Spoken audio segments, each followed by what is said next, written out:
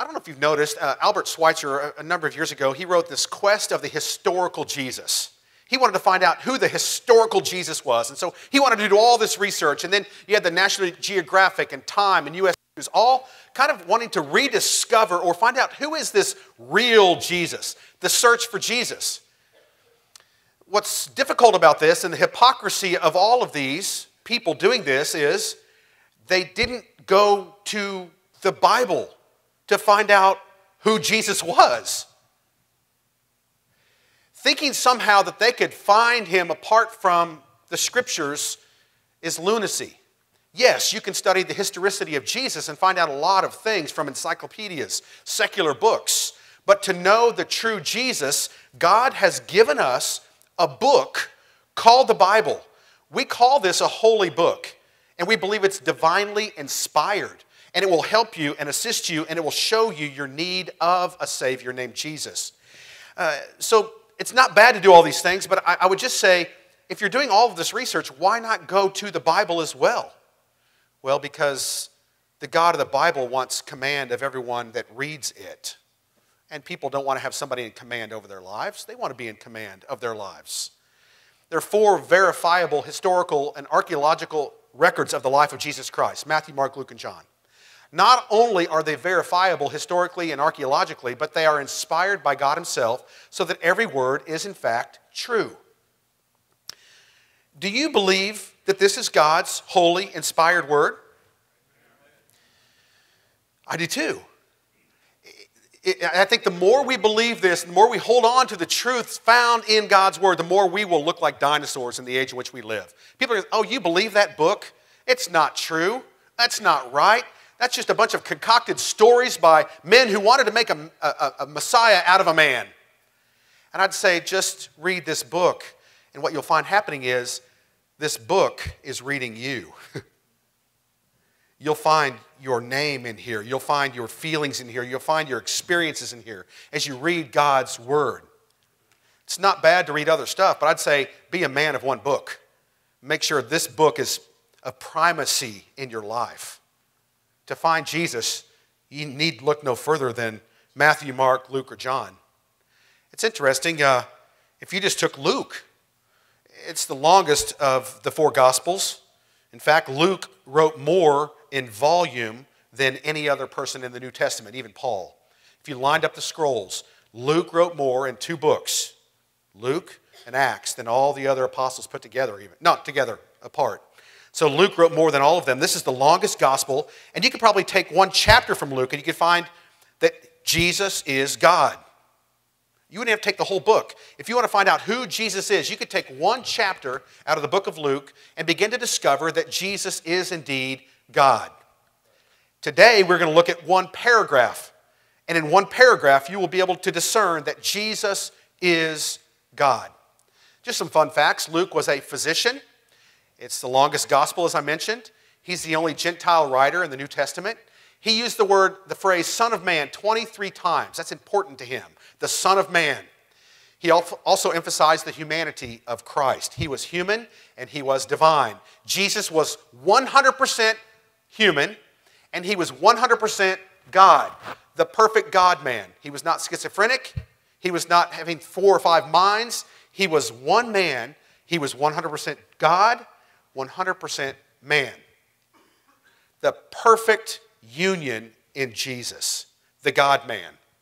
We're going to talk about that today. Luke 5, 1 through 11. If you've got your Bibles, it's a story we just watched on the screen, but I want to read it aloud to us today.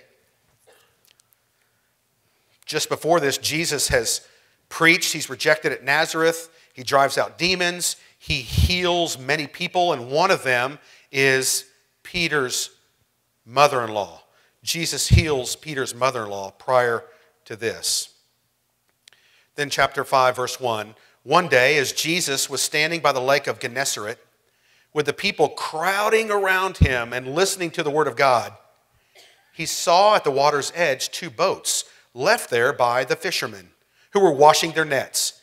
He got into one of the boats, the one belonging to Simon, and asked him to put out a little from shore. Then he sat down and taught the people from the boat. When Jesus had finished speaking, he said to Simon, Put out into deep water and let down the nets for a catch.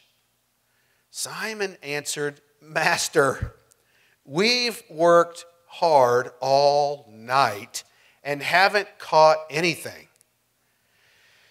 But because you say so, I will let down the nets. When they had done so, they caught such a large number of fish that their nets began to break. So they signaled their partners in the other boat to come and help them, and they came and filled both boats so full that they began to sink. When Simon Peter saw this, he fell at Jesus' knees and said, Go away from me, Lord. I am a sinful man. For he and all his companions were astonished at the catch of fish they had taken. And so were James and John, the sons of Zebedee, Simon's partners. Then Jesus said to Simon, Don't be afraid. From now on, you will catch men. So they pulled their boats up on shore, left everything, and followed him. May God add blessing to the reading of his word. Five quick attributes uh, that we can see of Jesus. He's divine. It means he is deity, he is of God. Divine attributes. Here's four of them. One, he's the source of truth. He's preaching to them at the beginning of this story. He's the source of truth. Second, he is he shows omniscience. He knows all. He knows all. Third, omnipotence. He's all powerful. Omni means total or all. Potent or potency has to do with power. He's all powerful. There's nothing that God cannot do. God is all powerful. Uh, every situation that you see, you may see five solutions, but God may see 500,000 solutions. God is powerful and He's able to work in our midst in ways that we don't even know to accomplish His purposes. The problem is we don't always believe him. So hearing his preached word will help you to believe him. Next is his holiness. We see that. He's holy. Jesus is holy. Peter saw that very quickly in the boat. Simon Peter saw it. he's holy. And the best one of all, maybe, he's merciful. Do you ever need mercy? We all need mercy. We all need mercy. And mercy is where God holds back from us things that we deserve. God's mercy is Him holding back from us what we deserve. I deserve hell, and so do you. But God is rich in mercy, and He holds back hell from us. That's mercy. Grace is that He gives us something good we don't deserve, which is heaven. That's an easy way to think. When you think mercy, think hell. When you think grace, think heaven. God holds back from us in His mercy hell, and He gives us heaven. That is His grace to us. So these five attributes of Jesus are seen in this story. We're going to tiptoe through these together today. Capernaum, it's where Jesus is doing some of these things. Nazareth, the Sea of Galilee. That top area, that Sea of Galilee, that small little blue dot there you can see at the top of the screen, that Sea of Galilee is 13 miles long and 7 miles wide.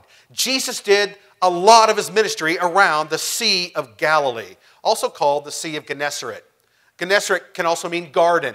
It's a very fertile area, of course, by the water. And, and there's a certain spot there at the northwest corner of the Sea of Galilee where it was, it was so flat when you came off the shore, go a long way, and the water would come up and push off, and it would water things around there, and it would be a very, very fertile area. Also, a natural amphitheater, as Jesus was there by the crowd, as you come off, it's real flat and it kind of comes up, forming this natural amphitheater for his voice to be heard by the large crowds. So they're out all night. They're out, these fishermen are out all night fishing. Uh, I'm not much of a fisherman. I, would rather not be a, a, fisherman, I'd rather be a catcherman. Uh, fishing is okay, but if you're not catching, it's not much fun. I, I want to be a fisherman, I want to be a catcher, not a fisherman. And part of being a good fisherman is knowing where the fish are.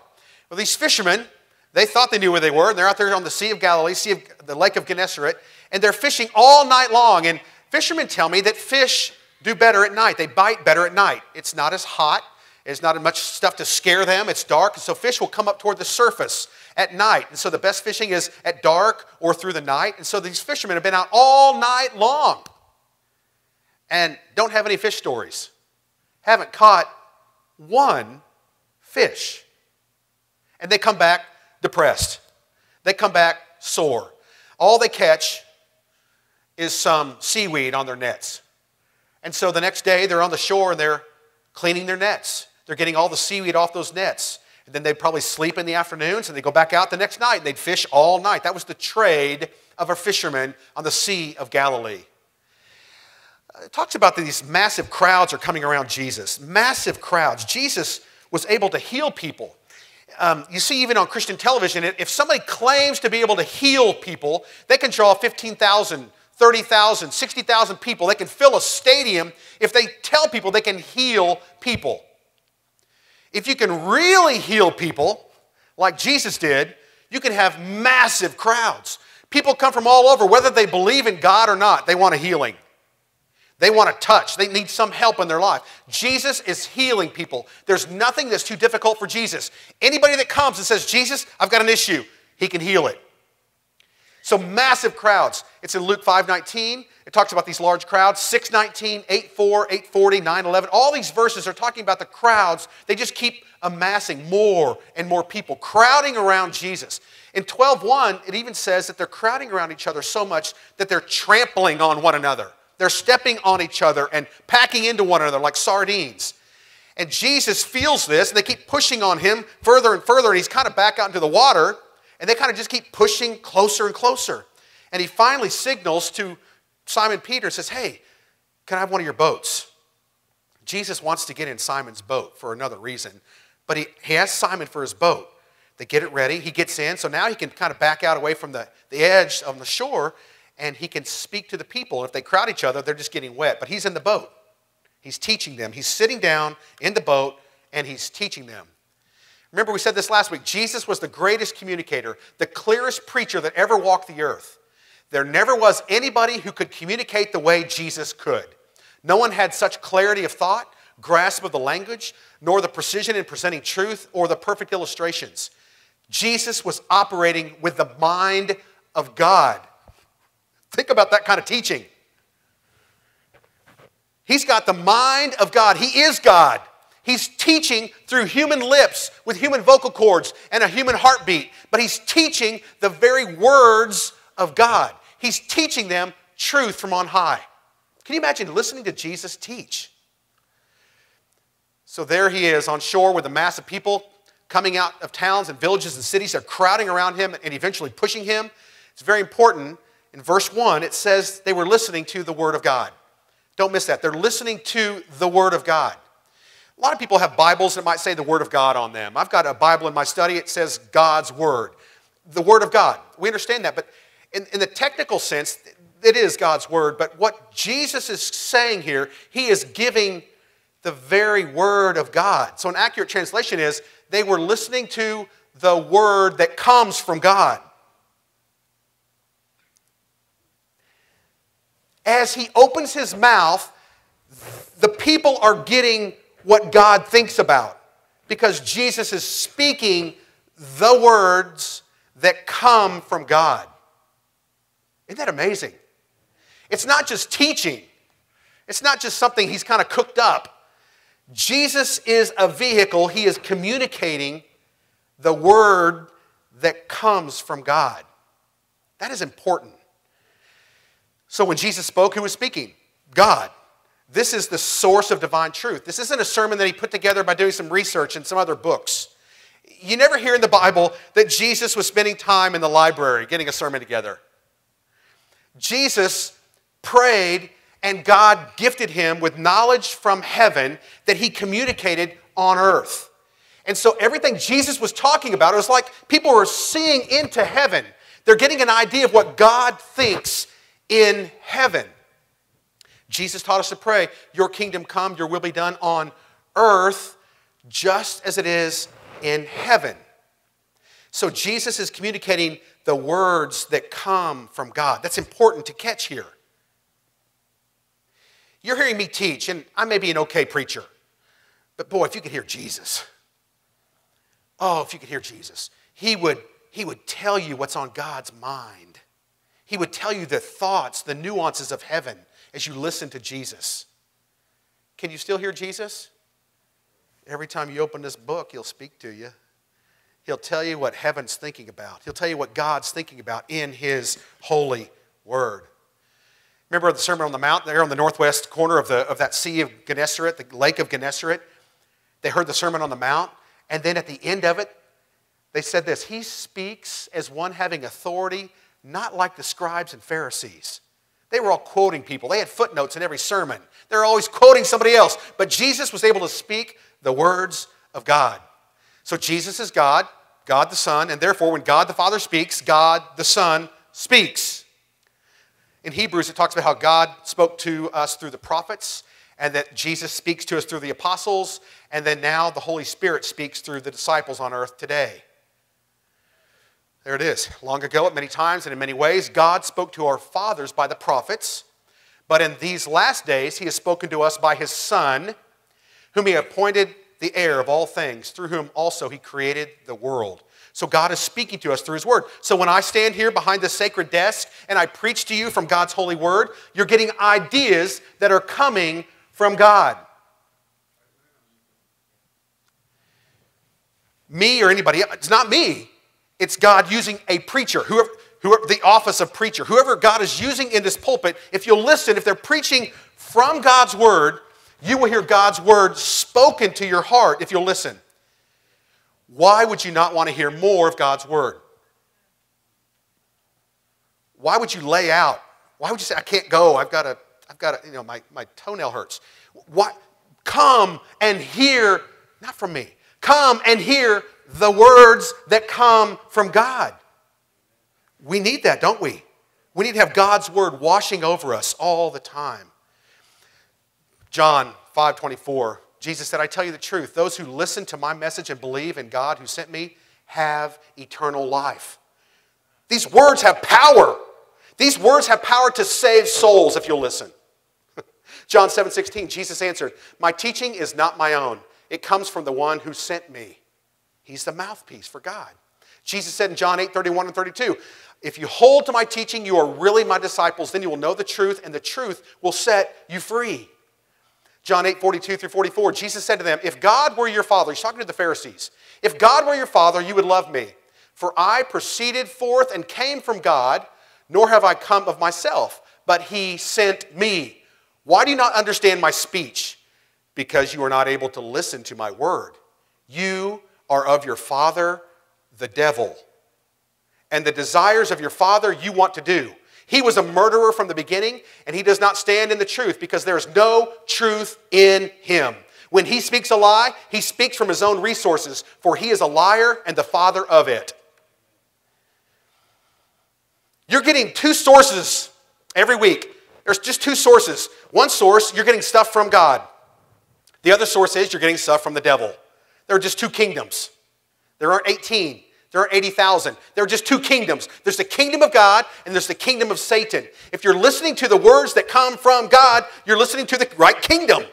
If you're listening to Satan and all his stuff, you're hearing the words of the enemy. He's speaking untruth and disaster into your lives. Satan is speaking harm into you. He's speaking harm into your relationships. He's speaking harm into your job. Satan is always lying. They, they say you can tell when, G, when Satan is lying. It's when his mouth is moving. He's lying all the time. And he wants to feed you a bunch of lies. But you must hear the words that come from God. So you're either a follower of God or you're a follower of Satan. Not much room to wiggle. Every person in this room is either a follower of God or a follower of Satan. Think about that.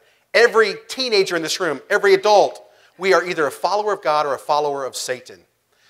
Jesus said in John 12 49, For I have not spoken of my own authority, but the Father who sent me has himself given me a commandment what to say and what to speak. These are the very words of God. 1 Corinthians 15 2, Paul said, By this gospel you are saved, if you hold firmly to the word I preach to you. Otherwise, you have believed in vain. The gospel has the power to save you. I'm going to talk more about that in just a moment. There's something called natural theology, and it's, it's a heresy that's coming into the church. It's the idea that you don't need Jesus, you don't hear the gospel, you don't need to hear the words of the Bible to be saved. You can get saved just out in nature, you don't even need God. That's not true. If that were the case, Jesus didn't have to come to this earth. He could have just spoken to us through the clouds and through the stars and the heavenly bodies. Nature is God's second Bible, yes. We can learn about God by looking at the heavenly bodies, but we need specific revelation. Thomas Aquinas was the guy that kind of came up with this idea that you could be saved through looking at the, the heavenly bodies. That's natural theology. So there's general and special revelation. General revelation is we all can see there's a universe and we go, wow, it's amazing how this just happened. No, it didn't just happen. Everybody would know somebody intelligently designed this place. But you need specific or special knowledge to come to know Him. That's what Paul says in Romans 10. How then will they call on Him in whom they have not believed? How will they believe in Him whom they have not heard? And how will they hear without a preacher? How will they preach unless they are sent? Just as it is written, How beautiful are the feet of those who bring good news of good things. We need preaching. You need to sit under preaching, not just mine. You need to listen to preaching online. Make sure you're listening to good preachers. They're Bible centered, Bible focused. Make sure you're hearing God's word wash over you. It's not bad to hear five or six sermons in a week. It's not, it's not bad for you. It's food for your soul. Some of you work in jobs where you can have an earbud in. You can put sermons on, on a podcast and listen to sermons all day long. I would say listen to truth and see what happens in your life. So, verse 2 we're going to get through this somehow, some way today. Verse 2 He saw at the water's edge two boats left by the fishermen who were washing their nets. As I said, they do that in the day or in the morning. They'd get them all cleaned up, and then they'd put those nets back on the boat, and they'd wait until the night. They'd go back out and fish some more. So, nights for fishing, days for mending nets. Their nets would get broken. They'd get worn out. They'd have to mend those nets so that the fish would get caught in the nets. If there are big holes in the nets, the fish just pass right through. So they had to mend their nets. That's what preaching does to your life. That's what preaching is it's mending the nets in your life. As you hear the Word of God taught from Sunday school classes or from this pulpit or other places, it's mending the net of your heart so that you can catch men. So, this is a fairly large boat. It's for fishing enterprise. Uh, they, they probably have maybe 10, 12. Sometimes all the disciples are on a boat, plus the fishing crew. So, a pretty big boat they'd have to have to go out fishing for this. Uh, it's interesting, verse 3, what it says that Jesus, he got into one of the boats, and one belonging to Simon. He got into that one, I think, on purpose, because he, he wanted to bring Simon up. He, he's trying to elevate Simon in leadership. Jesus has a method to his work here. He got into the one belonging to Simon Peter, and he asked him to put out a little from the shore. Then he sat down and taught the people from the boat. Water is a natural conductor in the sense of amplification. I was growing up, we had an in ground pool, and we'd get on opposite ends. It was a 40 foot long pool by 20 feet wide. And, and I'd get on one end, and my sisters get on the other, and I would try to talk quietly, and they had to try to listen to what I was saying. And then they would return it to me like tennis, back and forth. It was amazing. You could talk so quietly, and that your voice would just carry across that water. Isn't it funny how Jesus knew that? Like, how would he know that? I mean, this is Oh, he made the water. I forgot. Uh, so, so Jesus knows this. He knows the principles of what he's made, and he knows if he's on the water, he can talk, and it's natural amplification to the people, maybe thousands and thousands of people listening to him. Verses 4 and 5. Look at that with me in your Bibles. When, when Jesus had finished speaking, he said to Simon, Put down into the deep water and let down the nets for a catch. Simon answered, Master, We've worked hard all night. We haven't caught anything. But because you say so, I will, I will let down the nets. Master. He uses the word master here. It's a term of respect. It's a term of respect, but it's not divinity. Peter still doesn't know who Jesus is. He knows he's a good teacher and he's doing some healings, but he doesn't know he's God. And so Peter calls him master, a term of respect. But later on down, you see where he calls him Lord and that's a term of your God. That's verse 8. But he said, We fished all night, we haven't caught anything, but because you say so, I'll let down the nets. Well, Jesus, because you want us to. I mean, we're both, we're plumb tired. We need some rest. But you did heal my mother in law, and we did get a good meal out of the deal. So I guess I'll go ahead and put the nets out one more time. Whatever the reason is, he goes back out, he's going to put the nets down one more time. There are two types of fishing nets used in the Bible. One type of the fishing net was one that one person could use. And it's illustrated there. It's almost like a lasso, and you could kind of swing this net and throw it out, and it would have weights on the edges of the net, and the net would sink down and it was somebody would be maybe waist deep or just in their ankles fishing, and you just kind of do this from the shore. And it would go down, and then you'd pull it, and as it pulled it, it would kind of a net, it would kind of come together, and you'd catch fish that way. That's one type of net used in the Bible. The net that Jesus tells Peter to let down is not this kind of a net. Net is called a sagene or sometimes called a seine. It'd be something like this. They'd, they would get a, a, a, big net and they'd put it between two boats, and sometimes these nets could be a half a mile long almost like a big volleyball net. They've got strung up between the two boats, and the boats would move together in conjunction. And as they went through the water, the fish would swim into the net. And then when they got when they were full, the boats would kind of begin to circle around each other, and that would tighten the net. And then they got closer, they'd kind of make a big circle, and they'd pull the fish in. This is the kind of net that they're talking about. So whenever Peter says, Jesus, really? We just got this net in the, back in the boat. You want us to go back out? We're tired. But because you say, we'll do it. So they go back out. Look what happens in verse 6. That's so amazing. When they had done so, they caught such a large number of fish that their nets began to break. The netting is breaking. It's pulling so hard. There's so much weight in these nets that they're actually snapping and some of the fish are probably getting away. And so what do they do? They, oh, we're losing fish. They get over here quicker. They call the other boat. They signal, come over here. So they, they get over there, and they're all beginning to scoop these fish into the boat. I mean, as fast as they could go. Isn't that interesting? They fished all night and didn't catch one thing. Jesus says, let down your nets. They let them down. They catch so many fish, they can't hardly pull them into the boat. In fact, the Bible says the boats are almost sinking with the weight of the flesh of these fish. Wouldn't you like to take Jesus fishing? I mean, you can fish all day and not catch a thing, but Jesus says, just go over there. Okay. Whoa, a 28 pound bass. How did that happen, Jesus? Is that even possible? 28 pound bass?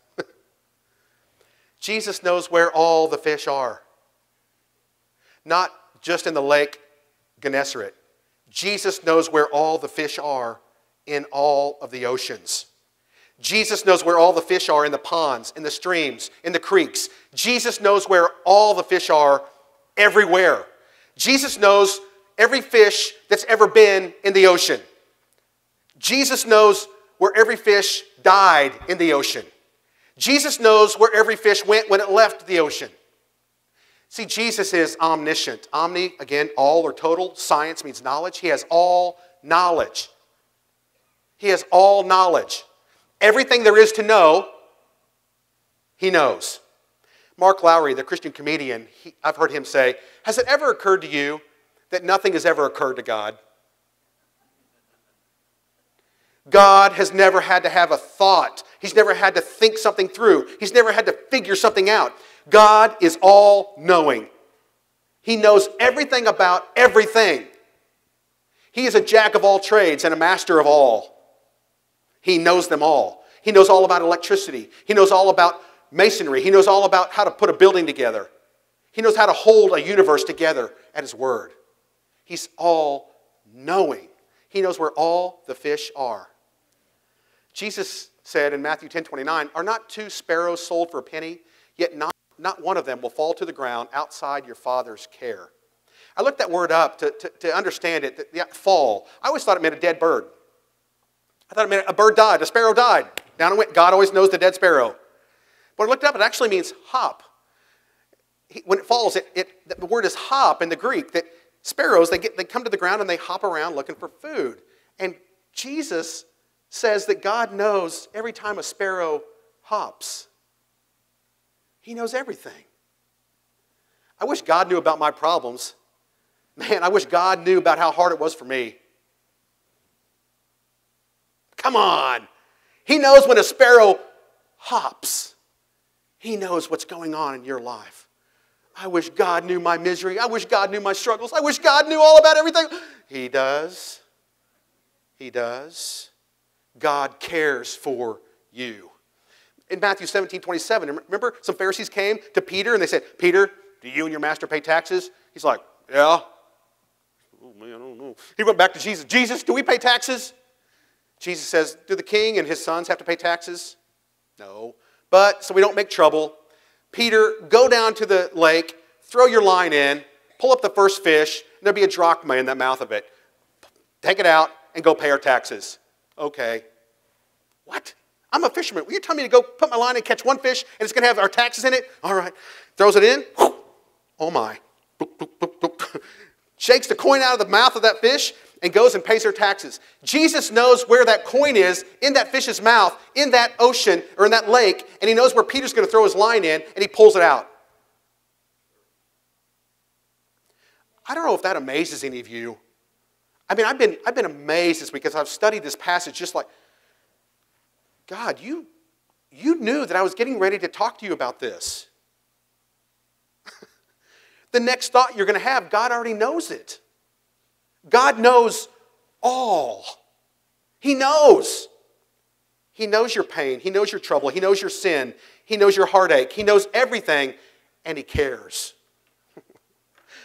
Remember the scripture from Psalm 139? Oh Lord, you have searched me and you know me. You know when I sit and when I rise. You perceive my thoughts from afar. You discern my going out and my lying down. You are familiar with all my ways. Before a word is on my tongue, you know it completely, O Lord. Man, I wish God knew what kind of job I was going to have next. I wish God knew how my marriage is going to work out. I wish God to help me with my kid. God knows. Trust Him. Verse 7. what do you do? They signaled their partners in the other boat to come and help them, and they came and filled both boats so that they began to sink. Why is that in here? Because it actually happened. What does that mean for your life? Can God provide for your needs? I've heard it said God, God owns the cattle on a thousand hills. And that's true. But God owns the hills. God owns the earth that the hills are in, that the cattle are on. God owns it all. Oh, God, I wish that you had it in your power to help me with my finances. I just wonder if God goes, Hello. I see when these little sparrows hop. Sparrows, you can buy two of them for a penny. And I think all of you are worth more than that. God cares about you. His omnipotence. Not only does He know where the fish are, but He can get them into the net. That's a big difference. It's one thing, you can have sonar, you can look down and see where all the fish are. That's one thing. But to get them to come up and to move into your net, that's omnipotence. That's all power. How in the world do you get fish to move into a net? Uh, Jesus probably just thought it. fish move over there into the net. They go over to school and they just go right into the net. They begin to pull it up, and Jesus is just looking at Peter, going, Oh, I wonder what he's going to think. Well, he already knows pull it up and they become so excited. It's omnipotence. God holds this world in his hands. I don't. I worked on a farm with my dad growing up, and we had to get the cattle in to these corrals to work them, and my dad would do the, all the vet work on them. And uh, this one farmer came over to help us one time, and uh, he was going to buy some of the cattle for my dad. And this guy brought something that we didn't have on the farm. He brought a cattle prod. And it was a wonderful thing. And those cattle, they always want to go the exact opposite way you're trying to get them to go. If any of you have ever tried to wrangle cattle, you, try, you want them going over here, they're all going over there. So I used to try to trick them and try to get them to go this way. My dad would say, no, just go around the backside and bring them up to the front. Okay. So anyway, got him in the corral, and this guy had this cattle prod, and they were like pushing back. They didn't want to go into the chute. And this guy came up with this cattle prod. He's sticking in about three feet long. It's like a taser. You ever felt one of those before? And I tell you what, those cattle began to behave so much better. They just moved right through the chute like nothing was going wrong. If, Jesus wanted to get some fish, he could probably shock their little behinds and get them right into a net. Jesus knew how to move animals. And Jesus put those fish right in that net. What happens? So what's the response? Look what Peter does. Simon Peter, verse 8. Simon Peter saw this and he fell at Jesus' knees. And he said, Go away from me, Lord. I'm a sinful man. For he and all his companions were astonished at the catch of fish they had taken. He fell down at his feet. The biggest catch of fish they've ever received in their whole life, and all Peter can do is just go, You're holy. You're holy. Jesus, I've never seen anyone like you before. There's something different about you.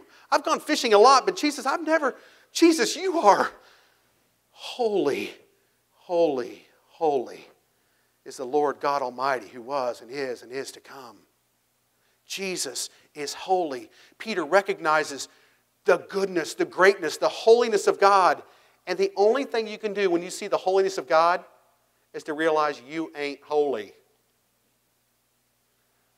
Oh, Oh, can anyone see the face of God and live? What can mortal man do in the presence of God Almighty? He'll die. Peter realizes, I'm in the presence of God in this boat, and he bows down in the presence, falls at his knees. It's, it's an act of worship in the Greek. He prostrates himself. It's an act of worship that he does right there in the boat. How did Isaiah respond? Remember the vision in, in uh, Isaiah 6 Woe to me, I cried. I am ruined, for I am a man of unclean lips, and I live among a people of unclean lips, and my eyes have seen the King, the Lord Almighty. when you get into the presence of God, you start realizing how unholy you are. And you're crying out for His holiness to be gifted to you. See, none of us, I can't, you can't, we cannot produce our own holiness. We can only receive God's holiness. Psalm 138 2, which you read, I bow down towards your holy temple and give thanks to your name for your steadfast love and your faithfulness. For you've exalted above all things your name and your word. Peter bows down. Verse 10b, look at that. We're almost done here. Interesting here what happens. Look at this. When he bows down, Jesus says to him, Simon, don't be afraid. From now on, you will catch men. The holy God of the universe standing in this boat that's weighed down with fish, and Peter begging for mercy. He realizes he is unholy and Jesus is holy. What does he do? Jesus could have just said, Peter, get away from me. You are, you are sinful. You are a mess, Simon. Get out of my presence. You're unholy. Yuck. You're making me look bad, Simon. But what does he do? He gives him something we all need mercy. He says, From now on, you will catch people. In the Greek, it's you will catch them alive. When you catch fish, you're going to eventually kill them and eat them. But when you catch men, you better not do that. You catch them alive. The Bible says you catch them alive. You bring them to Jesus and they come alive. You're going to be catchers of men, not to kill them. You're going to be catchers of men to bring them to the gospel that they might be alive. And then verse 11, what do they do? This is the biggest catch of fish they've ever received in their whole life. Verse 11 So they pulled their boats up on shore, left everything, and followed him. They left it all. How much money was in that boat? Peter's probably thinking, oh, we can get a new anchor. we can get a new net. Oh, we can get some new sails. Oh, we get some more equipment for the boat. Look at all this money. They leave it all and they follow the Holy One out of that boat to go catch men alive. To go catch men alive. Five attributes to close source of truth, he speaks, it's God speaking. Omniscience, all knowing, all powerful, his holiness, and thankfully his mercy. His mercy. I went to go visit a senior saint the other day and I said, What's new? And they said, Nothing. I said, No! God's mercy is new to us every morning. We have his mercy we have His mercy in our lives. Aren't you glad? He said, Go away from me, Lord, I'm a sinful man. Can't you just feel that? Can't you just feel what Peter felt? Oh, oh, Jesus. Oh, Jesus, you don't know what I've done. You don't know what I've said. You don't know what I've thought. Jesus, you don't want me around. I'm dirty. I'm filthy. I'm a man of unclean lips. You don't want me around. Oh, Jesus, you're too good for me. And Jesus meets him with mercy. And he says, No, don't be afraid. Come here, you knucklehead. Come over here. I'll clean you up. And I'm going to send you out. And you're going to be catching men alive. I don't know what you've come in here with in your heart failure, sin, messed up relationships. I don't know what you've come in here with. But I want to tell you that no matter how bad you feel, God's mercy goes deeper. And God's mercy can pull you in. God's mercy can pull you close to Him and say, Nope, I've got another plan for you. Quit talking yourself down and start listening to my words, and you'll be redeemed and on mission for me. Let's stand together.